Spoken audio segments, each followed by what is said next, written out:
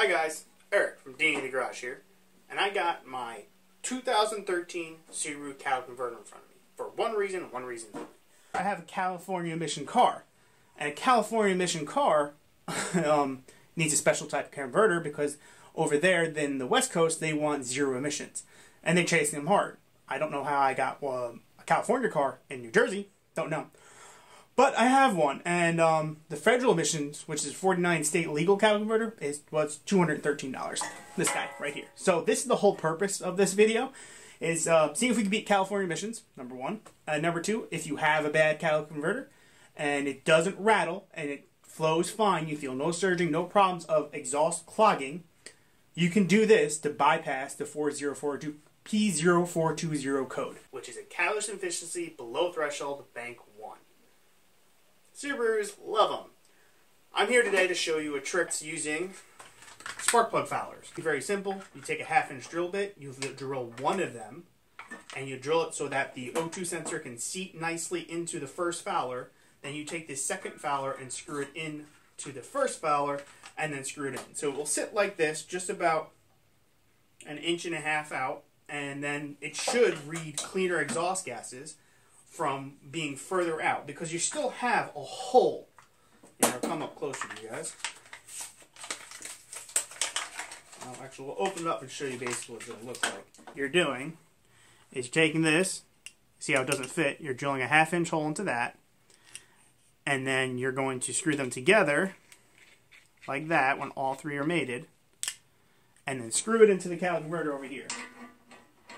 Now, you might have clearance issues. I don't think I will. I just did this on my sister's car, and we have similar setups.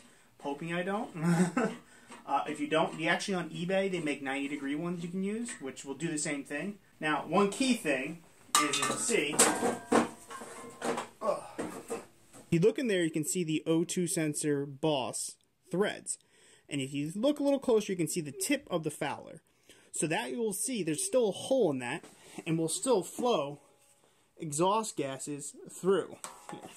Sorry, one-handed things are hard. It will still flow exhaust gases through the uh, foulers and let my air fuel ratio read the proper readings that needs to adjust for. It will read a little cleaner, don't get me wrong. And that's the whole point of me trying to run this system. Now, I didn't mention what the Dorman part number was, but you can pick these up at Advance. They're on the shelf, 9 times out of 10. They're always in stock.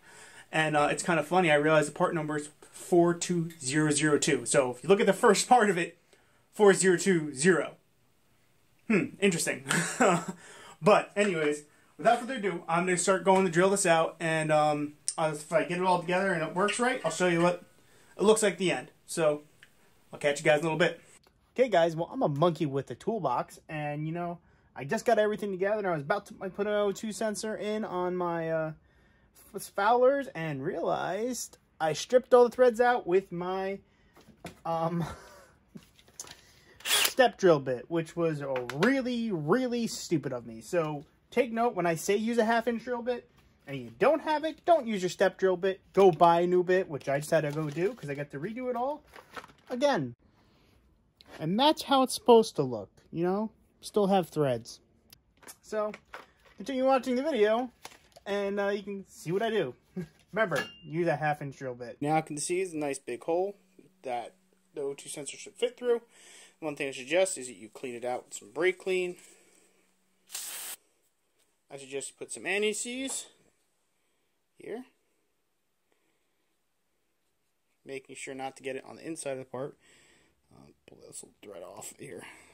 Yeah, making sure not to get it inside of the part. And, uh, you big globs anywhere just so that when it does time to take it off again, it's not rusted in there. So. And it should just thread nicely in if I did it right. And that was, seems like it's, hold on. There we are.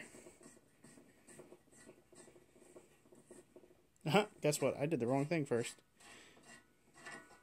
amateur hour. This one goes into this one. Like that.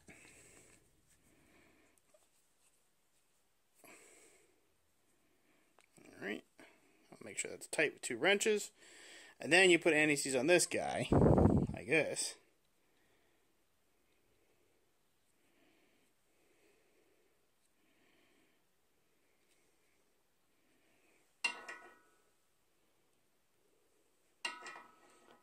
And we're good to go. We're golden.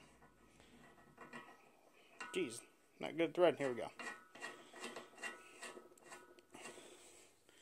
The O2 sensor goes at the end. And that's it. Tighten all that down, you're good to go. So, that's how you beat your P0420 code and any Subaru or even any other car that, that comes up with a cat efficiency below threshold and the cat is still good, just not cleaning the air enough for it. Because that's what a cat does, it cleans the air, it takes some of the pollutants out of it. Alright, guys, if you liked the video, hit the like button, subscribe. You know what to do with everything else. Etsy, Facebook, you know, Instagram, whatever you want to do. Hit the like button, find us around anywhere. I'll catch you guys later. Peace. Bonus footage. Seafoam in the Outback right before the new catalytic converter.